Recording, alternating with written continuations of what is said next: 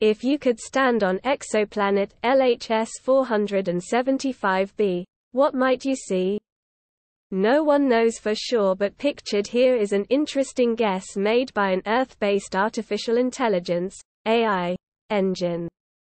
What is known for sure is that LHS 475b has a mass very similar to our Earth and closely orbits a small red star about 40 light-years away. The featured AI illustrated guest depicts a plausibly rugged Earth-like landscape replete with molten lava and with the central red star rising in the distance.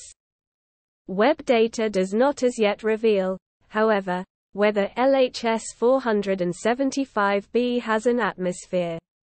One of Webb's science objectives is to follow up previous discoveries of distant exoplanets to better discern their potential for developing life.